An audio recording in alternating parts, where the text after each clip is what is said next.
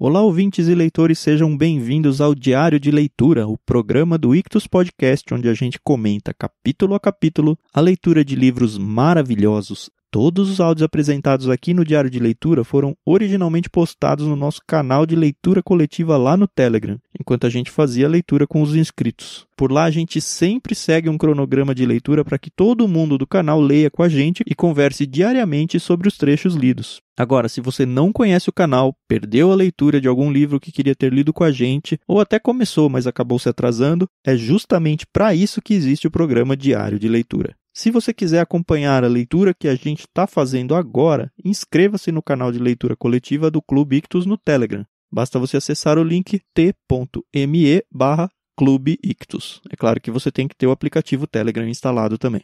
A participação é gratuita, pode ficar tranquilo. Sem mais delongas, fique agora com os comentários de mais um trecho do livro Morte no Nilo, de Agatha Christie.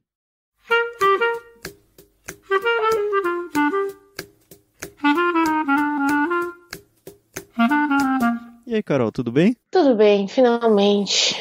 Último dia da semana, né? Pois é, foi muito bacana começar essa leitura. Nossa, eu espero que o pessoal esteja curtindo como nós estamos. Isso, e finalmente aconteceu o que a gente tanto ansiava, né? Exatamente. e vamos conversar um pouquinho sobre isso, porque eu tenho várias teorias. Ah, então, justamente. Hoje a gente tá no capítulo, então, 12 e 13, se você tá seguindo com a gente o cronograma de leitura. E vamos que vamos. Capítulo 12 é. ele é dividido em duas sessões, né? E o que, que acontece lá? Então a gente continua acompanhando a viagem do pessoal, né? E a gente descobre que eles também fazem passeios noturnos. Uhum. Então começamos vendo a Cornélia Robson, né, que é a prima pobre, é, dentro de um templo, é, vendo a, as estátuas, os monumentos, e ela faz uns comentários, né? Tá ela e o Ferguson, e ela falando, caramba, como é diferente, Ferguson né? Ferguson é aquele cara socialistinha, né? Isso. Ele é tudo revolt da vida, né? Nossa, dá até raiva dele. Mas eu não sei se você pensou isso, mas eu acho que ele está interessado nela. Tá, né? Porque ficou cheio de elogios, você é a melhor pessoa desse barco e tal. Não se menospreze e tal. Só que, em contrapartida, eu acredito que ela esteja interessada no Dr. Besner. Ah, mas ele é um velho, né? Ué! Você que é mulher, as mulheres gostam de idosos, é isso? Eu acredito que no caso dela, ela quer a liberdade. Ah, entendi. Se bem que, assim, não me parece muito que ela tá em busca de liberdade. Pra ela é aquela, tá tudo bem, tudo sempre cantando, ai, que a vida é boa, maravilhosa. Ou é isso que ela quer que a gente pense, né? Pode ser, então. Até porque a gente vai ver que quando aconteceu alguma coisa, ela estava perto e a reação dela foi surpreendente para mim. Exato. Então tem esse diálogo entre o Ferguson e a Cornélia, né? Nada muito revelador, né? Ele só destila um pouco mais do veneno dele, porque ele pergunta quem é fulano, quem é ciclano, e ela vai dando a opinião dela. Aí ele, ah, me poupe, eu me nojo com esse tipo de, de pessoa. E aí, ah, beleza, né? É, ele, ela fica... E várias vezes ele fala, não é só no enojo, né, que para, ele quer a morte das pessoas, é... né? Porque essas pessoas ficam gastando o ar do mundo, né?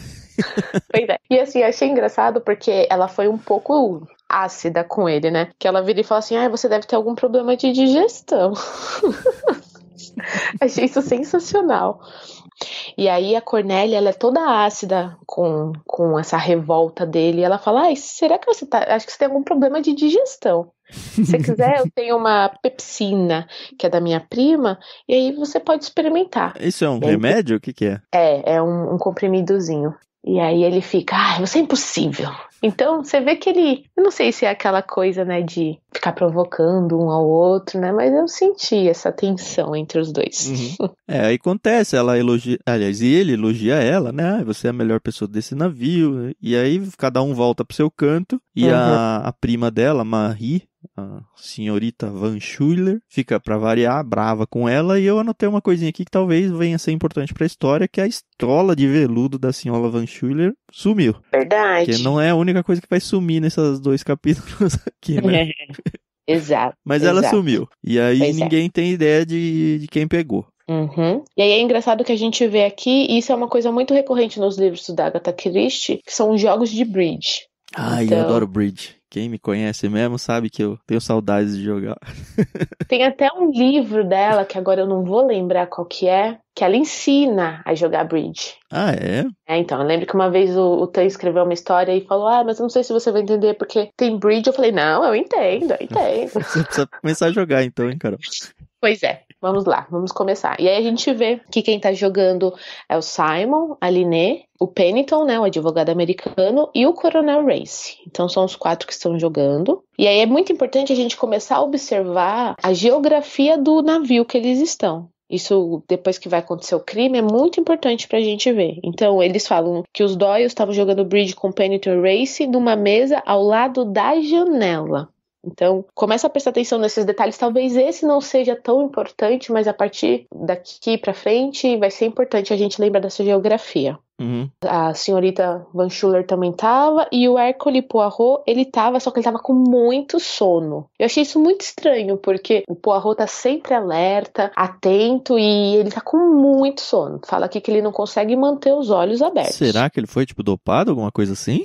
Não sei, porque não conta como foi o dia deles, né? Uhum. né? Só conta essa parte é, da eu noite. não pesquei nada disso, eu só achei que, falar, ah, beleza, tá cansado, quero ir dormir, tá tarde. A É, Jaqueline aparece, quer meio que puxar um papo com ele, mas ele não dá muita trela pra ela dessa vez. E aí, na hora, ele já percebe, hum, acho que eu devia ter prestado mais atenção nela. Mas foi Uhum. dormir mesmo assim. É, não teve jeito. E aí a gente pula pra parte 2, né? Porque a parte 1 um acabou, óbvio.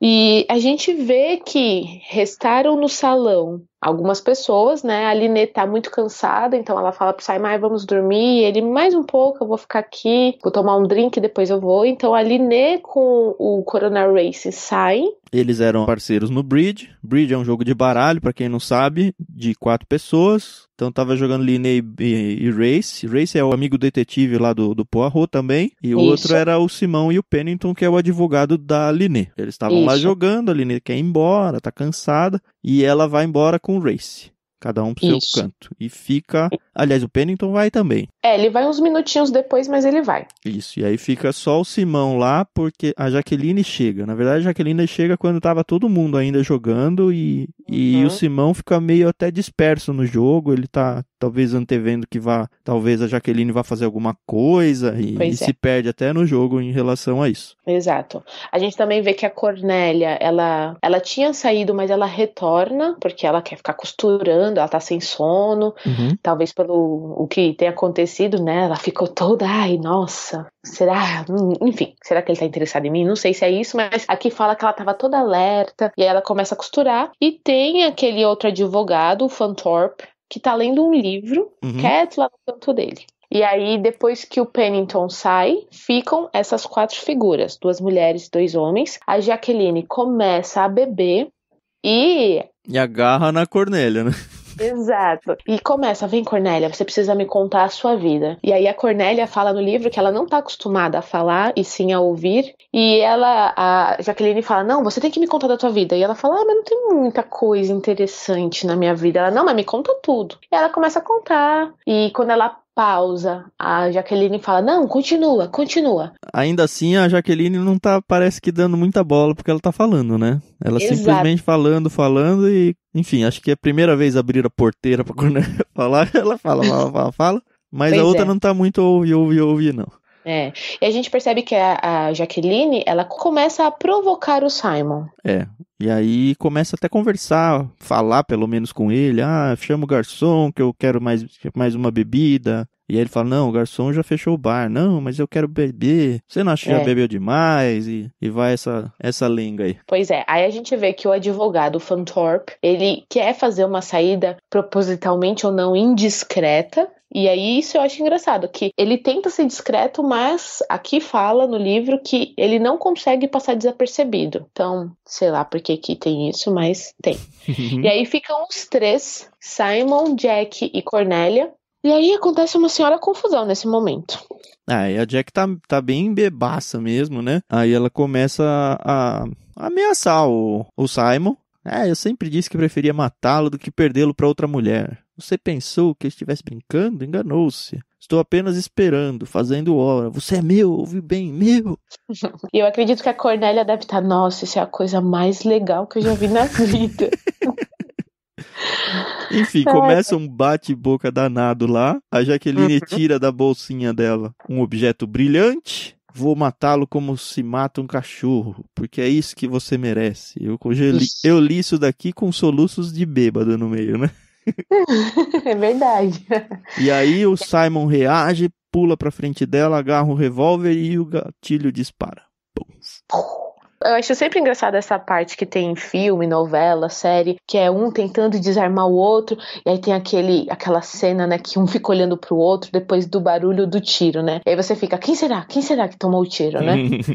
Bom, o fato é que é. o Simon aqui caiu uhum. e a, a Cornélia começou a gritar desembestada. Ah, a Jaqueline, a senhorita Pelefort tirou nele, ela tirou nele. E a é, Jaque ela... travou, né? Pois é, Claramente é, porque... não era um negócio que ela frio, queria, né? né? É. E aí a, a Cornélia sai correndo e encontra o Fantorpe, que ele tinha saído daquele ambiente, mas ele tava lá no conversa. E ela, vem, vem, pelo amor de Deus, ela tirou nele. E aí ele sai correndo, né, pra ver. E aí a Jaqueline fica tão, tão, assim, é, assustada com o que ela fez, que ela joga a arma e chuta eu acho que ela se arrepende, ó, acho não, né? Ela se arrepende do que ela fez, chuta a, arma para longe. E ela vai parar embaixo gente... das cadeiras. É, e aí a gente só vê que o Simon tá sangrando. Eu até fiquei, meu Deus, mas onde que ele tá sangrando? Senhor, senhor. Demorou essa informação, né?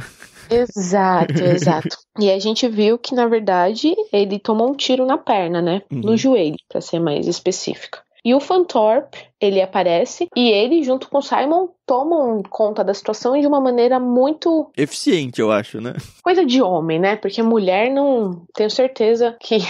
a gente não aí ia. Aí o Fantorp fala: vai chamar o Dr. Bessner, eu vou ficar aqui. E aí a, a Cornélia, né, que vai chamar ele, né? Isso. A Jaqueline, pelo que a gente percebe, ela tá em choque. Uhum. E em choque no sentido de que ela não, não sai nem, nem entra, né? E aí ela começa. Ai, o que que eu fiz? Ai, ai, ai. Ela começa a ter um um surto psicótico. Uhum. Ela começou a chorar histericamente. Isso. Oh Deus, eu queria estar morta, eu vou me matar, seria melhor se eu morresse. Meu Deus, meu Deus, o que eu fiz? Ai. Bom, chega o Dr. Besner, socorre ali o Simon, o Fantorp e o Besner levam o Simon para a cabine do Dr. Besner. Aliás, uhum. do Besner? Isso. É, o Besner e o Fantorp levam o Simon para lá e o Besner já fala para Cornélia: leva a Jaqueline, Jaqueline para cabine dela e chama a, a enfermeira. Que é que aquela é a... que, a, que acompanha a Van Schuller. Isso, a Bauer. E aí, tudo se acontece do jeito que eles planejam, né? Vai todo mundo para a cabine do Besner. Porque o que acontece? O, o Besner fala para Cornélia: fica aqui comigo porque o Fantorp vai acabar passando. Isso fica aqui, e aí é impressionante, porque o que a gente espera é justamente que a Cornélia fique em, travada, em pânico, não vê sangue. Mas para uhum. ela, ok, é, né? É mais o mesmo, exato. É.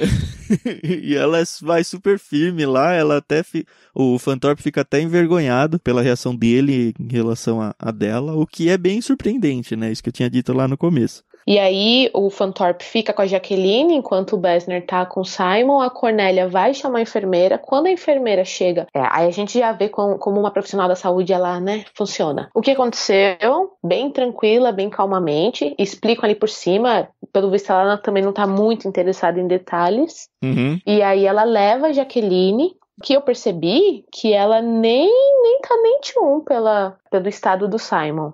Ela. Ah, não, não parou nada. Não passou é. nada isso. Claramente. E aí ela pega a Jaqueline, leva pra, pro camarote da Jaqueline, dá morfina pra ela e fica com ela. Isso é importante, uhum. porque é um álibi muito conciso. Pra e Jaqueline, aí, né? Porque pra, pra Jaqueline. Pra Boyers, não. É. Diz ela que ficou lá, né? Mas quem tá dopada Diz. é a outra, né? Pois é. E aí, no outro camarote, ficou o Simon com o joelho, pelo visto, tá muito feio, porque o médico fala que a bala atravessou o osso. Quebrou o osso e que ele fez o que dava para fazer ali no navio. Mas que eles vão precisar de um socorro melhor em algum outro contexto. Exato. E aí dá morfina para ele também descansar. E o Simon, importante que ele não quer que a Liné saiba do que tá acontecendo. Isso. E ele quer ficar protegendo a, Jaque, né? Ele fala: "Não, Exato. ela fez isso aí". É, é, bem interessante isso. Ele não, ele tinha toda a raiva dela e tudo, mas nessa hora ele fica protegendo, não fala para ninguém que foi ela. É, vamos preservar ela. Ela fez isso, ela não queria fazer. E aí uma coisa muito importante é que depois que o Doyle ele é socorrido e toma morfina, ele fala pro Fantorpe, volta lá no salão e pega o revólver. Pelo amor de Deus, faz isso. E o Fantorpe, não, beleza, vou lá. E quando chega no salão, tanã! Diz o Fantorpe, ele volta e fala: Não achei. Não sei uhum. o que uhum. aconteceu, não sei quem pegou, mas não achei. E quem que podia ter apanhado, não sei. Bom, não tenho o que fazer, falou o Bessner, né? E aí acaba esse capítulo. Todo mundo vai dormir, tal, tal, tal, tal. De manhã cedo a gente vê que o Poirot ele tá terminando de se arrumar e e o que acontece? Quem chega lá? O Coronel Race. Aí fala: ah, o senhor tinha razão, aconteceu. E aí todo mundo tá pensando que é do Simon, né? É. O que que foi? Perguntou pro rua apreensivo. A Liné Doyle está morta. Levou um tiro na cabeça ontem à noite. E, e aí, sim, pof. É, eu imaginava que o assassinato dela ia ser, assim, narrado dessa forma. Até porque se explicasse demais ia estragar todo o suspense. Mas isso também é uma coisa que acontece bastante. A, a, a Agatha, ela, quando acontece os assassinatos, a maioria das vezes é de noite, a pessoa que será assassinada está dormindo. Acontece de outras formas, mas você vê que não tem é, uma cena de briga, de crime e tal. Uhum. Então isso é importante saber. Outra coisa importante é que o navio não está navegando, ele está Isso. aportado. E tanto que o. O, o Race. É o Race, né? Fala pro Poirot: Isso. tenho poderes oficiais para resolver o caso. Posso inclusive adiar a saída do navio que está marcada para daqui meia hora. Talvez tenha sido alguém do porto. Então, não descartem ninguém fora do navio. Talvez esteja fora alguém de fora mesmo que veio. Por exemplo, a Joana. Oh, eu exemplo... ainda tô jogando minhas fichas na Joana, apesar dela ter sumido aí. É. E aí o, o Porro fala: não, não, não, tudo bem, vamos seguir como tá. E aí, de novo, a geografia do Karnak, do navio. Então fala lá. O Karnak tinha quatro camarotes de luxo com banheiro. Aí, então tem dois do lado do porto que estavam ocupados pelo Besner e pelo Andrew Pennington, e os outros dois voltados para o rio eram da senhorita Van Schuller e da senhora Doyle, que também era interligado com o camarote que pertencia ao Simon. Então é muito importante a gente começar a perceber isso por causa tanto de luz quanto dos sons do, do rio, se estavam não, se viram ou ouviram alguma coisa. Então é importante saber disso. Uhum. Ah, só quero levantar um detalhe aqui. Naquela conversa entre a, a Jaqueline e a Cornélia, a Jaqueline ficou incitando o Simon porque parece que o Simon estava lá com medo de que ela contasse tudo o que aconteceu para a Cornélia. Uhum. E ela falou: Ah, eu vou contar, hein, eu vou contar, porque a, própria Jaque fala: conta toda a sua vida para mim. A Cornélia contando para Jaqueline. Só que aparentemente a Jaqueline não contou para Cornélia o que uhum. tinha acontecido em todo caso e tal. Engraçado também que o Poirot, ele, ele Assim, ele não tem certeza, mas ele acredita que tenha sido a Jaqueline que tenha matado, né? Uhum. Então, ele ainda fica, ai, não acredito que ela fez realmente o que ela falou que iria fazer.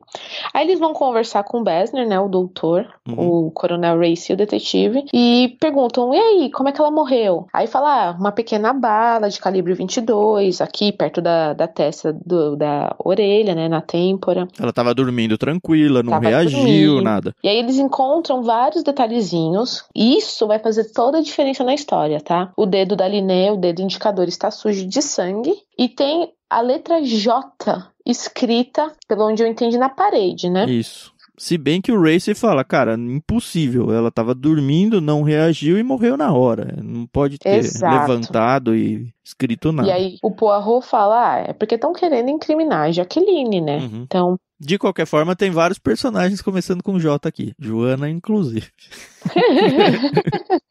pois é, exato. E aí, o navio vai passar a ser um grande interrogatório, né? Uma delegacia. Eles pegam uma sala de fumantes, conversam com o capitão, e a gente vê que o capitão também tá muito nervoso. Afinal de contas, aconteceu no barco dele, né? E aí, o capitão quer, inclusive, dar todo o controle pro Coronel Race e aí o Coronel Race fala: não, segue aí com a, o teu itinerário que a gente vai cuidar de tudo aqui e fica tranquilo. Uhum. E aí o, o, capitão fala: ai, que bom, beleza, então cuida aí que eu cuido aqui. Isso, e aí pela perícia médica eles descobrem que ela foi morta entre meia-noite e duas horas da manhã. Aquela discussão uhum. lá tinha acontecido uma meia-noite e meia, né? No, Isso. no salão, quando estavam os quatro que a gente já falou. Então a coisa aconteceu provavelmente depois do tiro no, no Simon. A discussão. Ah, e uma coisa legal que a gente tem que prestar atenção, legal não, importante, é que o Fantorp, Quando ele vai socorrer o Simon, aparece um empregado do navio. Ah, um núbio, né? Isso. Eu anotei aqui. E a Cornélia fala assim: ah, a gente tava brincando. E também não fala o que que é. E o Fantorp fala: não, o barulho parecia a garrafa de champanhe estourando, né? Uhum. Então, isso é importante porque depois ele vai repetir essa informação mais pra frente. Isso. E aí começam os interrogatórios. Os primeiros a serem interrogados são a Cornélia Robson e o Fantorp. E aí o Poirot, ele quer saber o que aconteceu. Na verdade, o Poirot, ele observa muito. Quem vai seguir com o interrogatório é o coronel. Uhum. E o Poirot faz alguns apontamentos. Aí pergunta o nome completo, endereço e por que está, qual o motivo da viagem. E aí eu começo a pensar naquele assassino X, lembra lá que o Coronel Race veio atrás? Ah, é verdade, né? A gente tem que pensar nisso. E o Fantorp, ele dá meio que uma gaguejada pela o motivo da viagem dele. Então, e ele chama gagueja- James, hein? J. James Leachdale Fantorp. Ah, não, vai ter um monte de gente que começa com J. Cornélia, por exemplo, começa com J, né? Como é, exatamente. mas tem a Joana, tem a própria Jaqueline, mas a gente descobre que a Jaqueline, ela vai ser descartada. É, assim, o, o discurso dos três que são interrogados, eles batem tudo conforme foi apresentado a cena pelo narrador onisciente. Exato. Então, basicamente, é um repeteco do que foi o capítulo anterior, sendo contado para os dois detetives lá, o coronel e, o- e o Poirot, Uhum. cada um dentro da sua visão, mas assim, não vi nenhuma discrepância entre a narração de nenhum dos três. Isso mesmo. E aí eh, o Poirot pergunta da pistola, o Fantorp explica que quando ele chegou ela tinha desaparecido, então que ele acredita que tem alguém aí que estava observando tudo. Uhum. Porque... É, a única informação nova que chega é que o Fantorp ele diz que, apesar de estar quase dormindo, ele escutou algum barulho como se alguém tivesse jogado alguma coisa na água. Isso, ah, olha, e eu acredito que isso aí é uma informação muito relevante. Isso, talvez a ele- arma, eu sei lá. É, e só ele ouviu isso, porque quando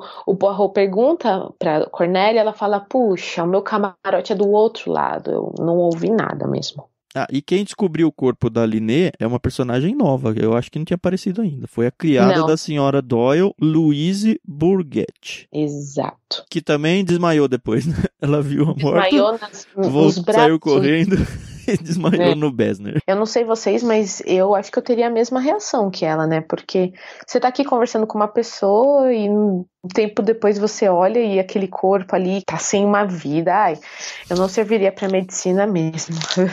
E olha que eu gosto de romances policiais. É, mas aí tá na letra, né? É, muito mais fácil. Quando eles relatam para os detetives que ah, a pistola não estava mais lá, a conclusão é óbvia, né? Essa pessoa deve ter ouvido ou visto os acontecimentos anteriores. Uhum. E o Fantor fala, ah, eu não sei por quê. Ah, porque o senhor disse que a pistola estava debaixo das cadeiras, o Poirot tá falando, né? Uhum. Portanto, é pouco provável que alguém a tivesse descoberto por acaso. Foi tirada por alguém que sabia onde estava a arma. Logo, É, alguém que é. estava presente. Olha, até agora eles estão supondo que foi a mesma arma, né? Sim, Mas a exato. gente não tem essa certeza. Eu não me Verdade. surpreenderia se tivesse entrado algo pelo turbante da véia lá, por exemplo. Ah, mas olha, a gente não pode realmente descartar ninguém, tirando a Jaqueline por enquanto, porque quando eles também estão. E o Simon, né? E o Simon, exato. E o Besner, eu acredito que também, né? Não sei, enfim. Porque o que acontece? Quando eles estão interrogando a enfermeira, que é assim que acaba o capítulo 13, eles falam: Nossa, a, a senhorita Marie, ela tem uma, saúde- uma saúde bem frágil, né? E ela olha assim: Frágil? Que nada, ela só tem tempo. Ela só tem dinheiro demais para e quer alguém, alguém cuidando dela o tempo todo, mas a saúde dela é muito boa. Então, isso também é uma informação pra gente guardar aí. E aí termina, né? Mas quem teria assassinado Liné Doyle? Uhum.